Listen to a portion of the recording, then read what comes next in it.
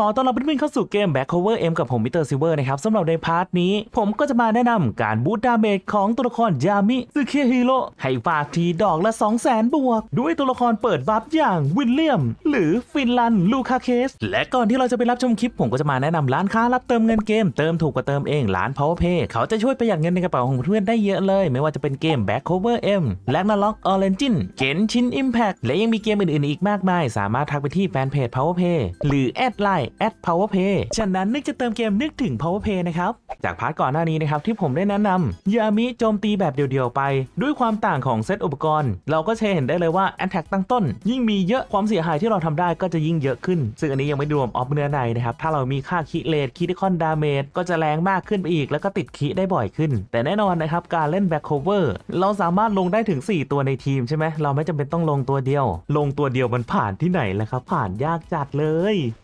นี่ครับ อะ ปาดประมาณ 60,000ถ้าค่า critical เราสูง และเราปาดติด cri ความเสียหายที่ทำได้ก็จะแรงเพิ่มมากขึ้นนะครับ แต่ในกรณีที่เราเล่นเป็นทีม อย่างเช่น ถ้าเรามีตัวละครวิลเลียม ตัวนี้เขาก็จะเป็นตัวละครเปิด buff supporter buff ที่เราจะใช้ก็จะเป็น skill ที่2นะครับเขาก็จะเพิ่มพลังโจมตีเลเวล4นะครับถึง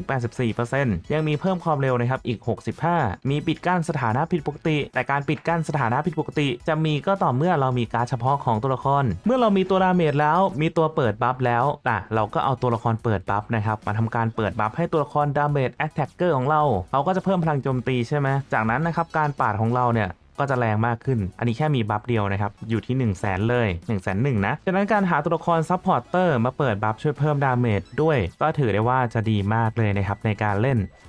เราจะได้ผ่านด่านได้ง่ายมากขึ้น เพราะตัวละคร damage จากเดิมที่สร้างความเสียหายได้ 60,000 ก็จะเพิ่มไปประมาณอีกเท่าตัว ขึ้นอยู่กับคีไม่คีด้วยนะครับ หลอดเลือดมันต่างกันลองหวดด้วยการเปิด buff อีกสักทีหนึ่งนะครับ มี buff อยู่เฉือนเฉือนๆนะเกือบแสนสองนะฮะ cri ไปตัวหนึ่ง แต่การที่เราจะเล่น supporter นะครับ อุปกรณ์ที่เราสวมใส่เนี่ย ก็จะแนะนำเป็นสาย speed ควรที่จะต้องมี speed ตั้งต้นให้สูงเข้าไว้ก่อนนะครับ ถ้าเป็น speed ติดดาวด้วยก็จะดีมาก งั้นถ้า speed ของตัวละครน้อยมากกว่า ตัวละคร attacker เขาก็จะไม่ได้เปิด buff แต่โดยพื้นฐานแล้วนะครับ ตัวละคร supporter เนี่ย speed ของเขาจะสูงอยู่แล้ว เรียกได้ว่าส่วนมากอะจะสูงที่สุด healer เนี่ยก็จะต่ำที่สุดนะครับ defender ก็จะสูงมากกว่า แล้วก็ attacker เนี่ยจะสูงมากกว่า defender นะครับ debuffer จะสูงมากกว่า attacker ก็จะเป็นรองแค่ supporter นั่นเองนะครับผมในเรื่อง speed นะ แต่โดยพื้นฐานแล้วยังไงก็ควรที่ต้องใส่ speed ให้เขาสูงๆเข้าไว้นะครับหรือว่าจะใส่เป็นชุดพวกป้องกันชุดเลือดก็ได้ ถ้าในกรณีที่เราไปทำ speed ให้ตัวละครอื่นๆ เพื่อไวมากขึ้น อันนี้ก็แล้วแต่อีกทีหนึ่งตะกี้เราเห็นในเรื่องการ boost damage ของตัวละครวิลเลียมไปแล้วนะครับมาดูในส่วนของฟินแลนด์ถึงแม้ว่าตัวละครพื้นฐานของเขาเนี่ยจะเป็นระดับ SR แต่ tier ของตัวละครนี่สูงมากๆเช่นกันนะครับเพราะว่าเขาจะมี skill เปิด buff เพิ่มพลังโจมตีและเพิ่มความเสียหายที่ทำได้การเพิ่มความเสียหายที่ทำได้ ของ skill ที่ 2 เนี่ยยิ่งเรา up level skill ไปสูง เขาจะบวกให้ทีละ 5%เลยนะ โดยรวมแล้วก็จะเป็น 30%ถ้าเราอัปเกรดเต็ม และข้อดีของตัวละครฟินรัล ก็คือ buff ของเขาจะเป็น buff แบบหมู่ จะแตกต่างจากวิลเลียมนะครับ เขาก็จะเป็น buff แบบเดี่ยวสำหรับ skill ที่ 2 เรียกว่าเพิ่มให้ทุกตัวในทีม มีกี่ตัวก็เพิ่มหมด ถึงแม้ว่าจะเพิ่มพลังโจมตีแบบหมู่ แต่เลเวลการเพิ่มเนี่ยจะอยู่แค่เลเวล2ก็คือจะเพิ่ม 55%แล้วก็เพิ่มความเสียหายที่ทำได้นะครับ โดยรวมแล้วก็แรงอยู่ดี และ skill พิเศษของเขานะครับก็จะเพิ่มความเร็วให้แก่พันธมิตรทั้งหมด มีโอกาสล้าง debuff และเพิ่มอัตรา critical ได้ด้วย การเพิ่มอัตรา critical จะอยู่ที่ 22%ตัวละครไหนไม่ค่อยติด cri สามารถใช้ฟินรัลเพื่อให้เขา cri ได้บ่อยมากขึ้น เพราะว่า buff เพิ่มอัตรา critical อยู่ 2 turn เนี่ยและเพิ่ม 20%ถือว่าเยอะมากนะครับ มาเราก็มาลองของกันสักหน่อยหนึ่ง มาเปิด buff ก่อนเลยนะครับ ลอง buff skill ที่2เร็วขึ้นอีก เพิ่มพลังโจมตีเข้าไปนะครับ หลังจากเพิ่มพลังโจมตีเรียบร้อยแล้ว ลองปาดดู ปึ้มนะฮะแสนสองนะครับ เอาเรื่องมาล่าติดขี้ไงติดขี้ทุกดอก ลองอีกสักทีสิเปิด buff เข้าไปนะครับ เพิ่มพลังโจมตีบึ้มมีเพิ่มพลังโจมตีแล้ว ก็ปล่อย skill ชืบ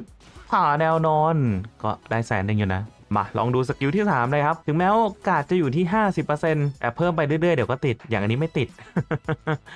ก็ได้แค่ความเร็ว ปาดไปเหมือนเดิม พิ่มนะ นี่ไงมาแล้วนะครับ เพิ่มอัตราคิคอนลองดูหน่อยหวดไปผ่าแนวนอน อ้าว เพิ่มคีจริงนะครับแต่ไม่มีเพิ่มพลังโจมตีเห็นไหมครับความแรงก็ไม่ได้สูงมากอยู่ดี ถ้าถามว่า 2 ตัวนี้ข้อดีแตกต่างกันยังไง ในการเปิด buff วิลเลียมเนี่ยเขาเปิดให้ตัวเดียว แต่ฟินแลนด์เนี่ยเขาเปิดให้ได้ทั้งทีม อันนี้ก็ขึ้นอยู่กับการใช้งานของเราแล้วล่ะ คือมันดีแตกต่างกันไปอะเขาไม่ได้พึ่งแค่ skill ที่ 2 เขาก็จะมีพวก skill ที่ 3 ถ้าเราลงดัน sense ตัวฟินรัลเอามาใช้ได้ แต่ถ้าลงดันพวกพลังดันเทคนิค อาจจะยังไม่ค่อยเหมาะเท่าไหร่นะครับในกรณีที่เราพลังไม่ได้สูงมากเดี๋ยวค่อยไปว่ากันนะครับว่าเราควรที่จะต้องเอาไปเล่นบทไหนบ้างเล่นดันไหน แต่ในเรื่องการลงดันพลังให้วิลเลียมก่อนละกันนะครับ แน่นอนนะครับว่าการ boost damage หรือการเพิ่มพลังโจมตีไม่ได้มีแค่นี้นะครับเราก็ควรจะต้องหาตัวละคร debuff ใส่ไว้ลดเกราะศัตรูด้วย ความแรงในการทำก็จะสูงมากยิ่งขึ้น ก็แนะนำเป็นตัวนี้เลยครับชาร์ลอตคือใครอยากเล่นสายขิง damage นะครับการที่เรามีชาร์ลอตและใช้งาน skill ที่ 2 เขาจะลดพลังป้องกันของศัตรูลง 50%เลยทีเดียว ก็เดี๋ยวมาลองดูความแรงที่เพิ่มขึ้นมานะครับว่าจะเป็นยังไง เอามาจับคู่กับวิลเลียมก่อนเลยนะครับอันดับแรกแน่นอนว่าความเร็วของเขาเนี่ยก็จะสูงมากกว่า Attacker ใช่ไหมครับเขาก็จะเรียงมาให้เลยนะฮะในเรื่องสปีดก็จะเป็นตำแหน่งที่ 2 ตัวที่ 2 แล้วก็ Attack นะครับปาดเข้าไป หลังจากที่เรามีเพิ่มแรงโจมตีแล้ว ลดเกาะศัตรูแล้วนะครับ ความแรงจะเป็นเท่าไหร่บึ้มแสนสองนะครับอันนี้ไม่ติดขีนะ ลองมาอีกทีนึงนะครับกดจิ้มเข้าไปผ่าแนวนอนเห็นไหมแสนสี่อันนี้ขีไปแค่หนึ่งครั้งเท่านั้น ปาดไปแบบน้ำน้ำเนื้อเนื้ออีกสักทีหนึ่งอันนี้แสนหกนะครับขีไป 2 ตัว ดูหลอดเลือดของศัตรูนะครับที่ลดลงลดลงอย่างเห็นได้ชัด แต่แน่นอนนะครับ ตัวละครถ้าเรายืนไม่ไหวเนี่ยก็จะหล่นเหมือนเดิม เพราะเป็น debuffer มาลองใหม่นะครับ ไปเพิ่มความถึกให้ตัวละครชาร์ลอตมานิดนึง ปาดไป ปึ้มแสนหกนะ เอ้ย เป็นไงจากสามหมื่นเหลือหมื่นหน่อย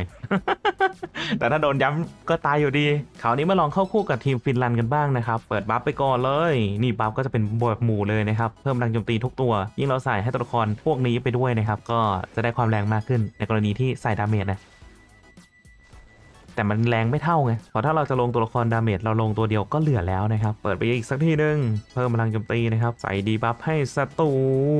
ตีตาไปเรียบร้อยนะครับ แล้วก็ skill ฟาดเข้าไป1นึ่งแสนหนึ่งและเราก็ยังเหลืออีกหนึ่งตำแหน่งนะครับ ในการที่เราจะ boost damage ไปให้สุดให้มากกว่าแสนหกด้วยทีมของวิลเลียมนะครับ ก็คนที่ต้องใส่โลตัสใส่ไปเลย debuffer 2ตัว ข้อดีของโลตัสนะครับหลักๆ เราก็จะเอามาให้ศัตรูเนี่ยได้รับเพิ่มความเสียหาย เขาจะเพิ่มความเสียหายที่ได้รับเพิ่มขึ้นศัตรูก็จะโดน damage เพิ่มขึ้นอีก 50%จริงๆ ถ้ามีการ์ดเปิด buff เพิ่มพลังโจมตีอีกนะ ก็จะแรงมากไปอีก แต่นี้ผมไม่มีนะครับ ก็เลยใส่เท่าที่มีไปก่อน มา ลองดูกันตัวนี้วิลเลียมนะครับเปิด buff ไปก่อน แล้วก็แน่นอนชาร์ลอตนะครับใส่ลดเกราะแล้วก็มาถึงโลตัสนะครับเปิด skill พิเศษนะครับบึ้มศัตรูก็จะโดนเพิ่มความเสียหาย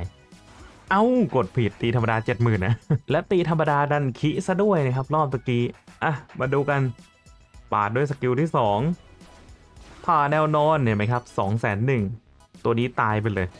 หล่นไปเลยนะครับ แต่ boost หลักๆ มันจะมีอยู่แค่นั้นแหละ ของในเรื่องตัวละครนะครับ ถ้าเราจะหวังพึ่งแค่ตัวละครนะนะลดพลังป้องกันโลตัสเนี่ยยิ่งมี damage สูง ก็ความแรงได้ในระดับหนึ่งเหมือนกันนะครับ เห็นไหมสี่หมื่นกว่าเลยนะครับ ถึงแม้ว่าจะเป็นตัวละคร debuff ก็ตามแต่ยามินะครับ skill ปาดไปอีก อันนี้ไม่คีนะครับแสนหกหวดไปด้วย skill ที่2ปั๊มสองแสนเก้าฮะเกือบ3 0 0แสน ตายเกือบหมดตายหมดเลยสิ โอ้โหเป็นไง boost damage boost ได้นะครับ แต่ในเรื่องผ่านด่านหรือเปล่า อันนี้ก็อีกเรื่องหนึ่ง อันนี้เป็นแค่ทางผ่านเนี่ยสามตัวละครหน้า wave แรก ส่วนในการที่เราจะ set skill ของทีมนี้ เราสามารถ set skill แบบนี้ได้นะครับ ให้วิลเลียมเนี่ยใช้ skill แล้วค่อยไป skill พิเศษ ยามิใช้ skill 2 แล้วค่อยไป skill พิเศษ ชาร์ลอตใช้ skill 2 แล้วค่อยไป skill พิเศษ ส่วนโลตัสเนี่ยจะใช้แค่ skill พิเศษ นอกนั้นก็จะเป็นการตีธรรมดา เดี๋ยวลองดู auto นะครับว่าจะเหมือนกันหรือเปล่านะ เปิด buff เพิ่มพลังโจมตีเพิ่มความเร็ว ลดเกราะศัตรูนะครับ แล้วก็โลตัสลง skill ไป แล้วก็ยามิปาดเข้าไปนะครับ เห็นไหมแล้วก็ดูอีกทีหนึ่งเปิด buff ลดเกราะแล้วก็หมดสภาพเพิ่มความเสียหายที่ได้รับ ปาดเข้าไปนะครับ2 0 0แสนเอ้ย ต่อด้วยท่าไม้ตายด้วยเป็นไง96,000นะครับเมื่อกี้นี้ ส่วนในกรณีที่เป็นทีมฟินแลนด์แน่นอนนะครับเราก็ใส่โลตัสเหมือนกัน การตั้ง skill ก็เหมือนกันได้เลยข้อเสียของการใส่ตัวละคร debuffer นะครับก็คือถ้ามอนตาย wave นี้แล้ว เราก็ต้องมาใส่ stack ใหม่แล้วถ้าเราใส่ buff 2ตัวล่ะ เหมือน buff จะทับกันนะครับ เพราะว่าวิลเลียมให้ buff แล้ว ยามิจะไม่ได้ buff ของฟินรัลนะครับ มันจะเป็นประมาณนี้ พอเขาโยนปุ๊บ แล้วก็ buff ปั๊บเนี่ยครับ มันจะทับกัน เหมือนมันไม่มีขึ้นอะและฉะนั้นนี่ก็จะเป็นวิธีการ boost damage นะครับให้ได้2 0 0 0 0 0 บวกในการปล่อย skill ของยามิฟ้า ถือว่าเป็นแนวทางแล้วกันนะครับ เทคนิค ไม่ใช่เทคนิคแล้ว เพราะถ้าเราจะสู้ทั้ง 3 wave ยังไงเราก็ต้องหาตัวละครมายืนยื้อให้ได้อยู่ดี ถ้าไม่มีตัวละครยื้อโอกาสแตกก็จะสูงมาก ลองใส่ตัวละครแค่เปิด buff ตัวเดียวนะครับแล้วก็มีตัวแท้งโลตัสก็ skill ปกติเนาะลองดู อันนี้ก็ปาดได้แสนสี่นะครับ โดนตบดอกละห้าพันอยู่นะ อ่า สกง skill นะครับ โตค่อยว่ากันไป เอาไม้ตายลงบึ้มไปแล้วโยยูโยยูโยยูเปิด buff damage นะครับ ไล่ตี ก็จะมีเพิ่มความไวในการโจมตีด้วยไง เพิ่มความเร็วแล้วก็ปาดไปนะครับ จริงๆ ต้องตีให้ตาย ตัวละครอื่นๆอาจจะต้องมี damage เพื่อที่ยามิจะได้เก็บ skill นะครับ มาปาดในรอบอื่นๆ ตัวอื่นไม่ถึกนี่ก็มีหล่นเหมือนกันนะ เจอท่าไม่ตายนะครับ หมดสภาพความแรงเพิ่มมากขึ้น เหลือ 2 ตัว ปาดเข้าไป